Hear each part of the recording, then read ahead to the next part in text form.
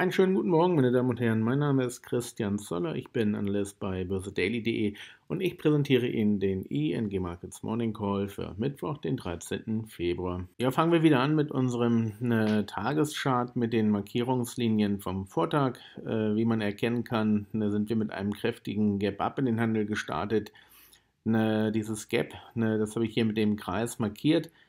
Das sollte auch wieder geschlossen werden. Insofern ähm, ist damit ähm, zu rechnen, dass der Index auch wieder runterkommen wird und hier nochmal den Bereich der alten roten Markierungslinie um 11.030 Punkte bzw. 11.000 Punkte hier anläuft.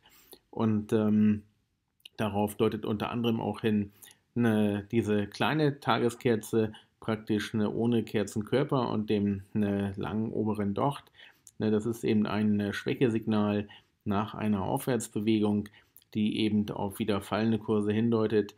Ne, die Markierungslinien waren nicht anwendbar, weil wir eben mit einem Gap in den Handel gestartet sind. Bei Gap-Eröffnungen nach oben oder nach unten ne, sind diese Markierungslinien in der Regel ne, nicht anzuwenden. Ne, der Trendindikator äh, geht weiterhin von einem Short-Trend aus, von einem Downtrend aus und da hatte sich auch noch nicht viel geändert. Auch für den heutigen Mittwoch ne, befinden wir uns weiterhin im Short-Modus und ähm, ich rechne damit, dass wir in Kürze hier diese Aufwärtsbewegung beenden und dann wieder ne, nach unten tendieren. Gut, wir machen dann weiter mit den Markierungslinien für den heutigen Mittwoch. Wir sind äh, weiterhin im Abwärtsmodus. Der Kreis ist weiterhin rot, ist noch nicht auf blau gedreht.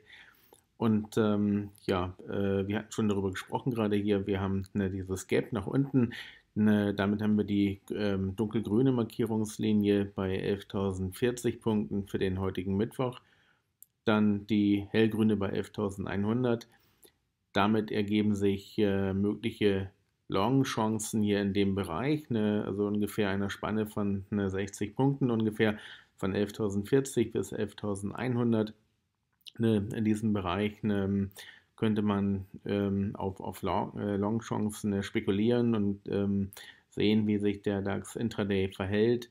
Ne, die rote Markierungslinie befindet sich dann bei 11.170 über dem ne, Vortageshoch und die eine dunkelrote dann bei 11.200 Punkten eine der wichtigen Marke.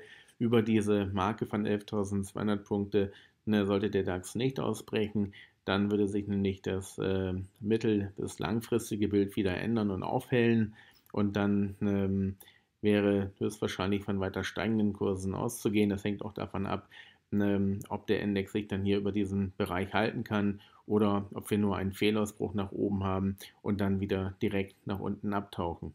Gut, äh, sollten wir weiter nach oben tendieren und ähm, dieses Vortageshoch nochmal überschreiten, dann würden sich hier in dieser engen Spanne von 11.170 bis 11.200 Punkten eine Longchancen ergeben, ne, die man dann ähm, vielleicht bei 11.000 naja, 230 Punkten ungefähr absichern könnte, also einen äh, sehr engen Stopp dann verwenden.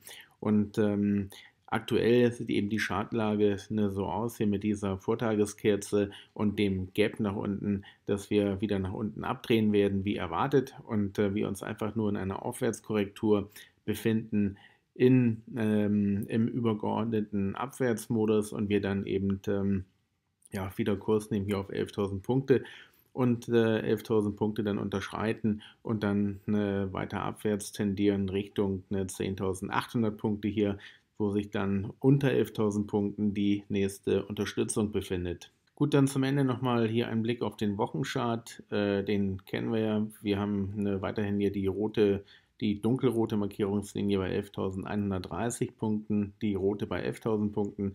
Und ähm, das ist auch aktuell die Spanne, in der wir uns hier in etwa bewegen. Ne, wir sind ja auch direkt äh, am Vortag an dieser dunkelroten Markierungslinie äh, abgeprallt. Also wir haben diesen Widerstand hier nicht nachhaltig nach oben brechen können, ne, sind dann eben ähm, mit 11.126 Punkten aus dem Handel gegangen, also praktisch direkt an dieser roten Markierungslinie. Und ähm, im optimalen Fall ne, drehen wir hier eben wieder nach unten ab. Ja nehmen dann Kurs auf 11.000 und brechen dann nach unten durch.